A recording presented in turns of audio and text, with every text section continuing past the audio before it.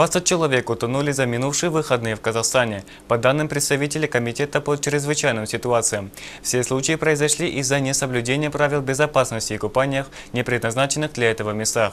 Больше всего их зарегистрировано в Восточно-Казахстанской, Кызылординской и Карагандинской областях.